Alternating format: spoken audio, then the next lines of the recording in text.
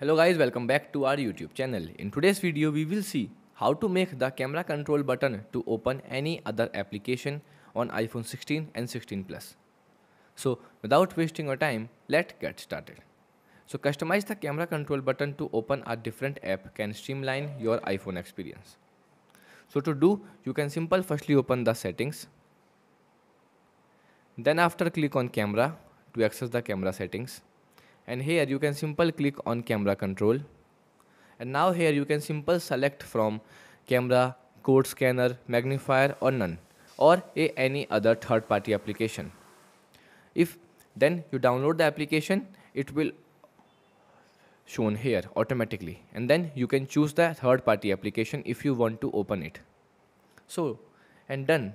This allow you to quick access your most used app with a single click or double click on the camera control button. I will also show you like when I single tap on it, it will open the camera. Right? But I want to open a code scanner. Then select code scanner and then when I single tap the camera control, it will open a code scanner. So here's how you can choose the camera control button to open any other application. So if you found this video helpful, don't forget to like, share and subscribe for more tech tips and tutorial. Goodbye.